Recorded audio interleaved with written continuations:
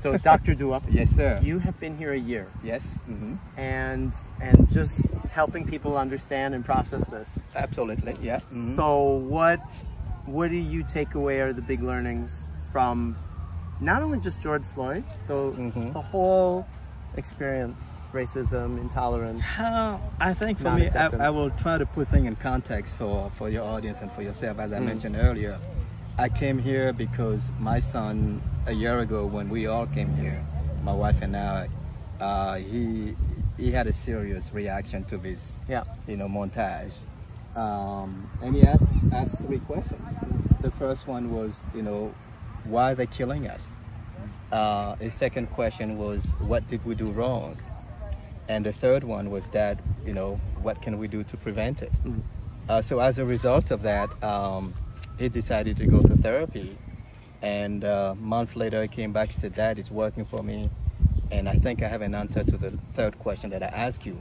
And I want all my friends to have access to mental therapies.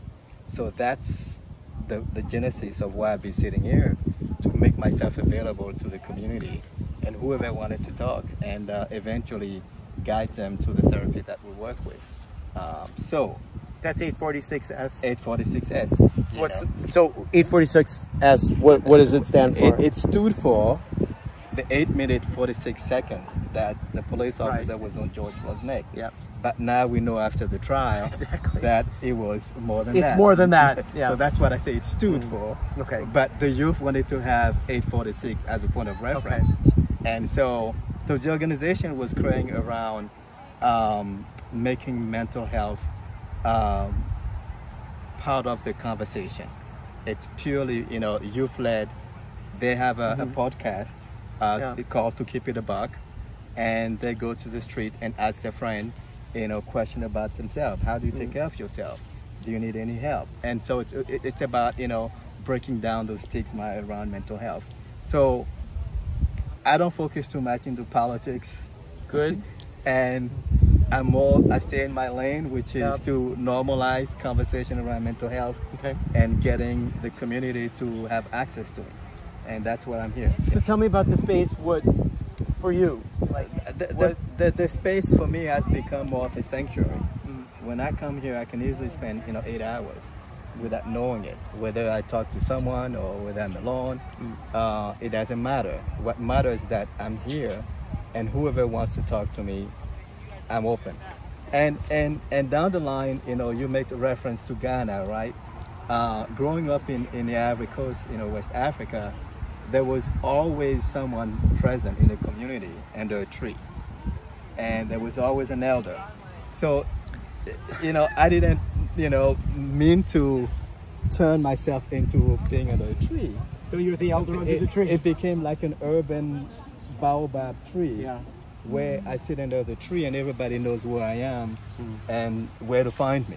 Beautiful. And so this is difficult, but when people come to me, I ask them three questions. The first one is what makes you happy?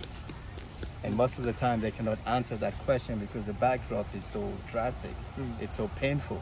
And I say, yes, George is gone, all those people are gone, but they want us to leave. They want you to have a life, but you don't have an answer, that's all right. The second question was, when was the last time you were happy? What were you doing?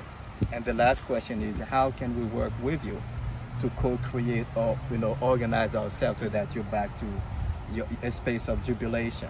Mm. So these are the three things that I guide the conversation here. But I don't advertise. I don't wear any T-shirt. Well, Um, I want to have this natural human interaction because if I wear a T-shirt, then you will have your antenna thinking, "Oh, this guy's into mental health."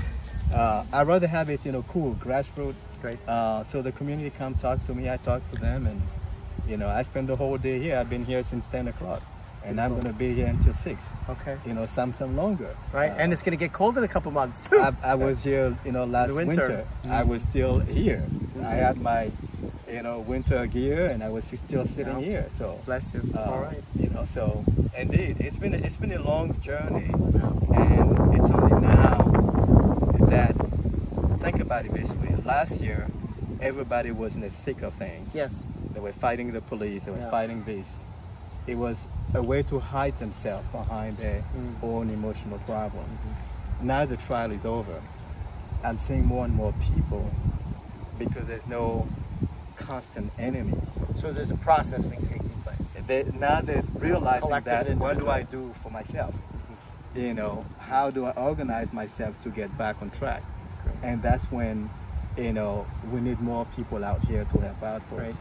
because it's it's them now and their mirror. Yeah. It's no longer you know Derek Chauvin. It's no longer anybody else. Right. It's about Uh, us. It's about you. What can we do with you? Great. So, Well, I'm- thank you. I'm just a servant. I'm so glad you stopped by, and Thank you very much. you know, I, I, I'd like to know if I can put up three questions to help people out Yeah. and drive into 846S. absolutely Thank do what you. you want. I'm just a servant. So, Okay, go ahead. Thank you. thanks so much. Blessings. Indeed.